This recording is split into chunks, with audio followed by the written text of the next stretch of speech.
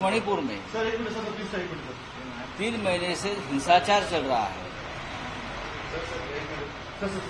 दो सौ से भी ज़्यादा लोग अब तक उनकी हत्याएँ हो चुकी है।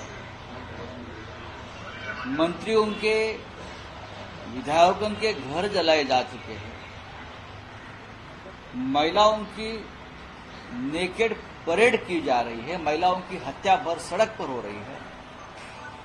और अब तक वहाँ ना प्रधानमंत्री गए हैं, ना प्रधानमंत्री ने उसके ऊपर कोई बात कही है। संसद में।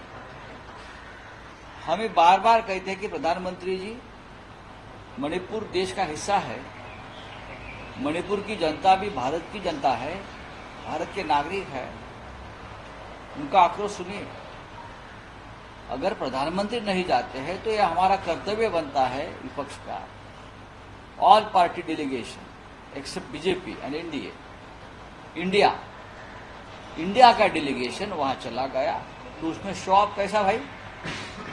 कल जाकर हमने उनसे हमारे लोगों ने उनसे बातचीत की, उनका दर्द समझ लिया है। क्या इस देश की जनता का दर्द को समझ लेना और दर्द बांटना? ये शो ऑफ़ अगर कहते हैं प्रधानमंत्री जी तो मुझे लगता है इतनी क्रूर और निर्घृण सरकार और राजनीति हमने देखी नहीं। इम्फाल में कल भी बड़े बड़े मोर्चे निकले सरकार के खिलाफ।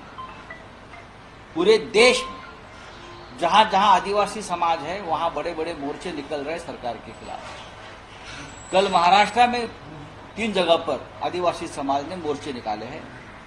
और मुझे लगता है पूरा आदिवासी समाज पूरे देश में सरकार के खिलाफ घेराबंदी करने की कोशिश कर रहा है। लेकिन मणिपुर की हिंसा के बारे में भारतीय जनता पार्टी के लोग इस प्रकार की अभद्र भाषा का इस्तेमाल करेंगे।